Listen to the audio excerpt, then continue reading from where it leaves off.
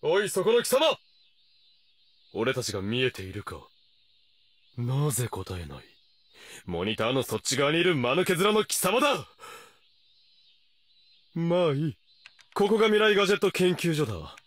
所属研究員を紹介しておこう。まずはラボメンナンバー001ラボ創設者にして狂気のマッドサイエンティスト。この俺。王院京馬